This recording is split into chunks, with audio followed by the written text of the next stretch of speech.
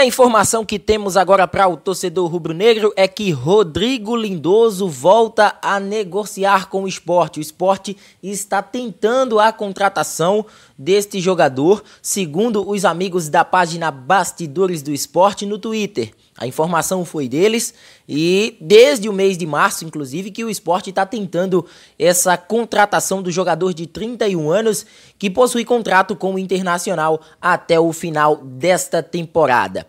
Outro atleta que o Leão pode, quem sabe, abrir um pré-contrato a partir do próximo mês. Né? Um jogador que pode ficar aí à disposição para ouvir as propostas de outras equipes e o esporte é uma dessas equipes interessadas. Natural de São Luís do Maranhão, Rodrigo Lindoso não tem proposta de renovação contratual com o Internacional e o clube gaúcho não vai renovar o vínculo deste jogador. Pelo menos essas são as informações que circulam uh, nos bastidores lá da imprensa gaúcha. Rodrigo Lindoso é segundo volante, né? Esse tão falado segundo volante que o esporte busca no mercado de contratações.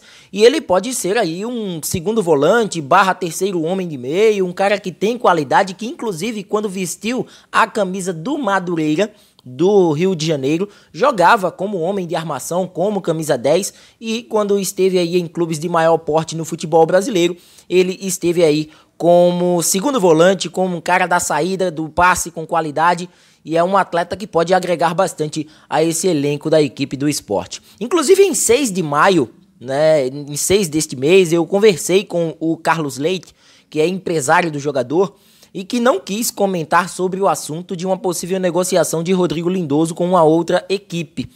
Vale destacar que em sua carreira, Rodrigo Lindoso defendeu clubes como o Madureira citado, o Fluminense e a equipe do Botafogo. Fora do Brasil, Rodrigo Lindoso foi atleta do Marítimo de Portugal na temporada 2013-2014. Neste ano, foram apenas nove jogos disputados com a camisa colorada e três partidas apenas na condição de titular. Inclusive, o último jogo eu estive comentando na web rádio Sintonia Esportiva a partida entre Olímpia e Internacional e o Rodrigo Lindoso foi foi a última substituição de Miguel Ángel Ramírez porque Rodrigo Dourado acabou se machucando. Então a gente percebe que é um jogador que não tem a preferência na equipe colorada e o Inter deve sim fazer negócio por Rodrigo Lindoso ao término do Campeonato Gaúcho ou até mesmo ao término da primeira fase da Taça Libertadores da América.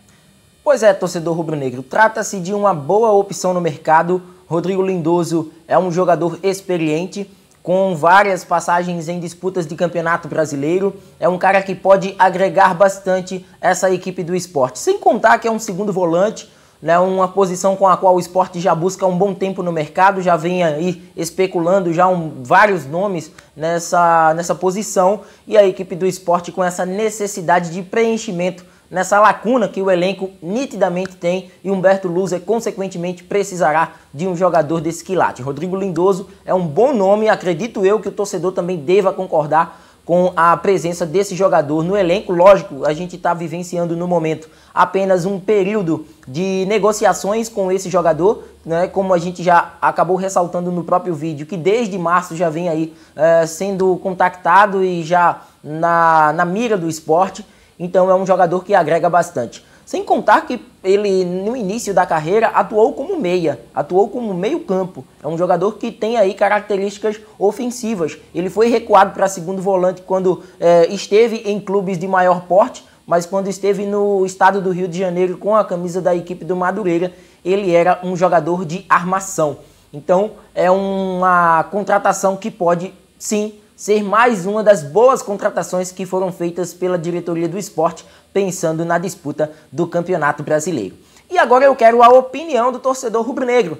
Rodrigo Lindoso, mais uma vez, na mira do esporte. O que é que vocês acham? Comenta à vontade, se inscreve no canal, ativa o sino das notificações, dá o like nos nossos vídeos. Importante a sua participação através dos comentários. Compartilha bastante este conteúdo nas suas redes sociais. Até a próxima!